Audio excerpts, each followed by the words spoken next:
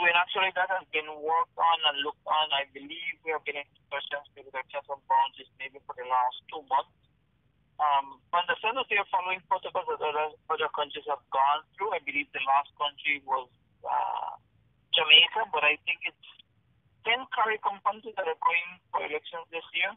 So you always have to look, can look at their protocols, see what it is that they did, uh, learn from that, uh, tweak it so that you make sure that you are, at the end of the day, able to avoid further spread.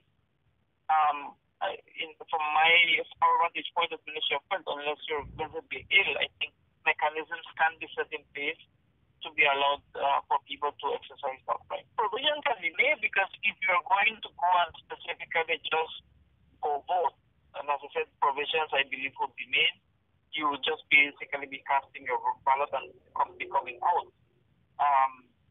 We had made other recommendations, broader recommendations to Elections and Boundaries because you're we are concerned here, and, and your question is specifically the ones that are positive. But what about all the asymptomatics or the ones that are negative that you don't know? So I think you need provisions for ensuring that um, you have minimal amount of people in, in, in polling booths, that you have um, taken adequate mechanisms. So that discussion is ongoing with Elections and Boundaries.